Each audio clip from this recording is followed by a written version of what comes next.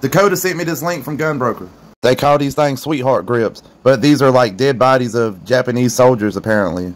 That's kind of morbid. You can really tell on these grips right here, these next two, look at him. And then you can see this guy right here.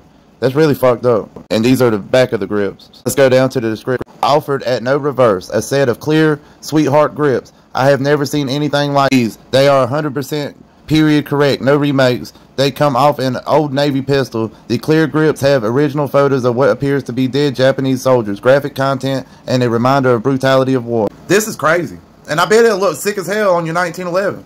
But bad and evil things have a way of attaching itself to objects with negative and violent origins and history. When it comes to supernatural stuff, I'm a big because you can't take down a ghost with one of these things. Less if you're on supernatural. And none of us look like Sam and Dean.